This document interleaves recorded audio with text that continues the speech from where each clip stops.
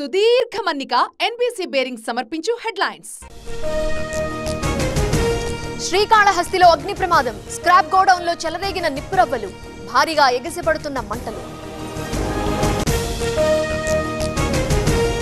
తెలంగాణ గవర్నర్గా సిపి రాధాకృష్ణన్ కాసేపట్లో పదకొండు పదిహేను నిమిషాలకు బాధ్యతలు రాజ్భవన్లో ప్రమాణ స్వీకారం. హైకోర్టుకి ప్రణీత్ రావు సుప్రీం మార్గదర్శకాలను పాటించలేదని పిటిషన్. నేడు విచారణ చేపట్టనున్న న్యాయస్థానం.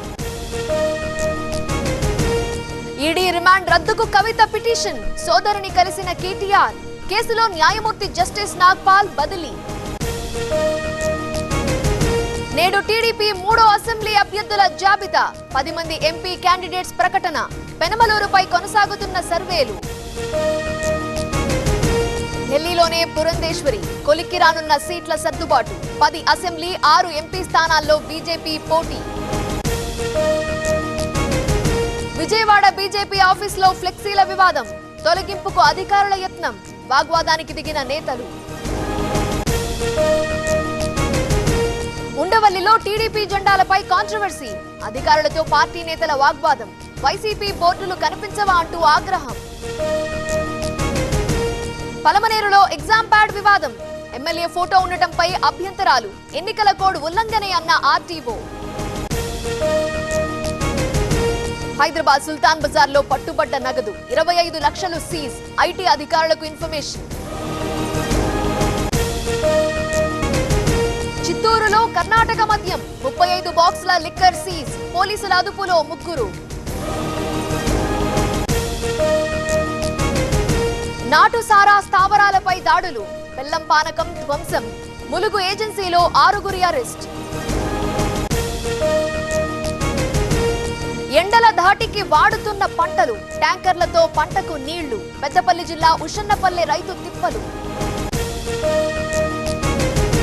విశాఖ పెందుర్తిలో అగ్ని ప్రమాదం. అపార్ట్మెంట్లో ఐదో అంతస్తులో మంటలు.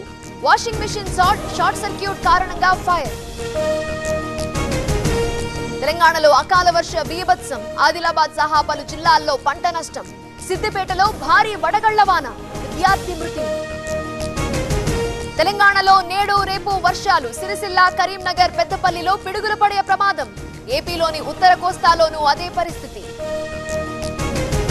సార్వత్రిక ఎన్నికల తొలి దశ నోటిఫికేషన్ నేడు.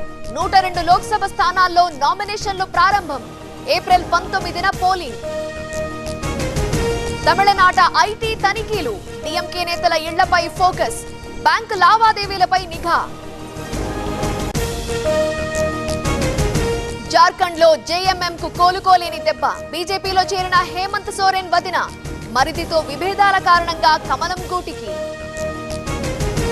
అర్ధరాత్రి వరకు బీజేపీ కోర్ కమిటీ సమావేశం. ఈ రోజు మరో జాబితా ప్రకటించే అవకాశం. తెలంగాణలో రెండు సీట్లకు పేర్లు ఖరారు. రెండు వేల ఆరు నకిలీ ఎన్కౌంటర్ కేసు. మాజీ పోలీస్ అధికారి ప్రదీప్ శర్మకు జీవిత ఖైదు. చోటారాజన్ అనుచరుణ్ణి హత్య చేసిన ఆఫీసర్. సుదీర్ఘ మన్నిక ఎన్బీసీ బేరింగ్ సమర్పించు హెడ్లైన్స్.